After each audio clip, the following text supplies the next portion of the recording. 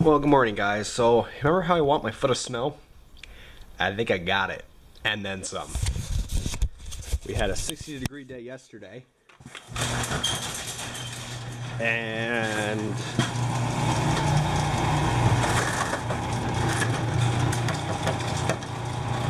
Yeah!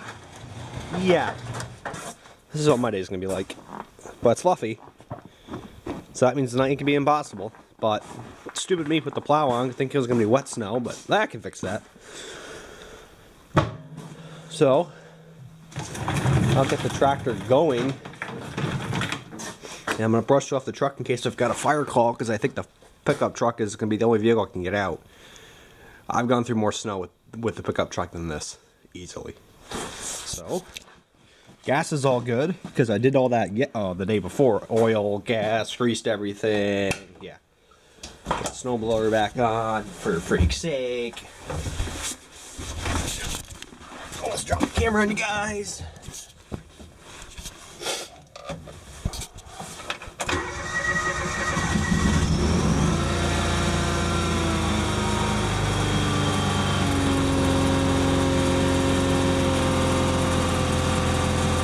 Alright, let that warm up for five minutes and uh, we'll clear the truck off.